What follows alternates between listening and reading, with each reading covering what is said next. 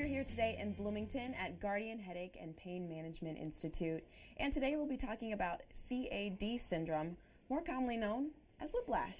Today I'm joined by Dr. Benjamin Taimoorazy. Hello. Hi, how are Hi. you? Good, thanks. Thanks for having me. All right, well, whiplash. Um, you know, I think about neck aches, headaches um, associated with car accidents. And so, you know, is that one of the most common ways to get whiplash?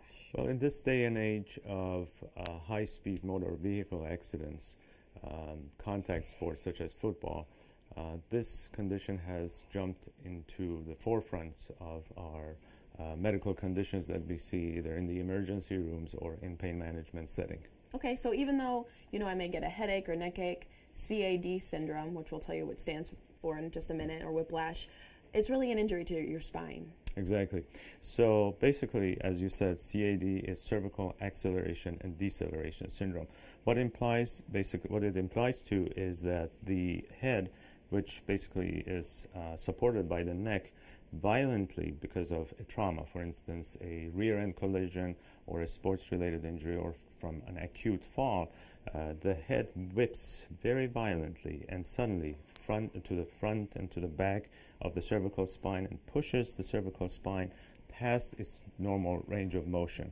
That by itself can cause many, many sensitive structures in the cervical spine. Okay, so say, you know, um, I was feeling, I was in an accident or Mhm. something and I was feeling some pain. Mhm. What are some of the signs and symptoms of whiplash? Well, the uh, signs and symptoms of a whiplash injury can be either very immediate, so right after the car accidents, you will have severe neck stiffness, shoulder, neck pain, and headaches, or it can be delayed by a few days.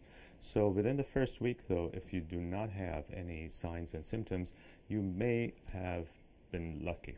That's what I should say. Okay. But it doesn't mean that years later you will not have the, the pain in the neck that ha- has resulted from the prior accident.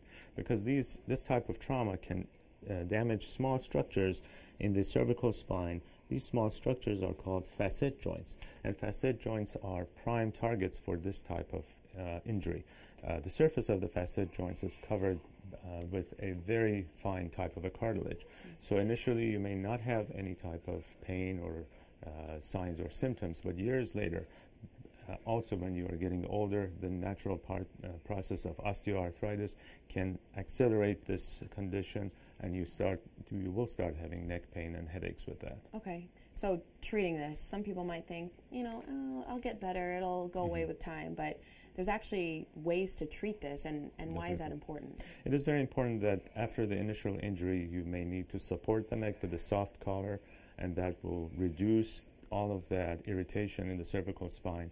You, you probably will benefit from anti inflammatory uh, medications such as Motrin, ibuprofen, uh, with physical therapy. But once it becomes chronic, then that's when we come in, and there are very important and very minimally invasive procedures that can help with this type of uh, condition. Okay, so some people might think, oh man, I've had this for a long time, I was in an accident, I have pain for a while, Mhm. but I don't want to get surgery. Mhm. You have options here at Guardian Headache and Pain Management Institute to help take care of that. Definitely.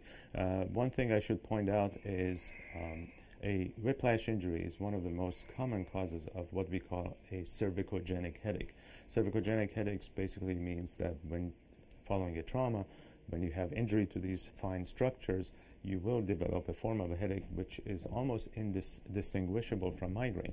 So you may be looking at neurologists, you may be checking with your primary care physician and being treated for migraine while all along you don't have migraine.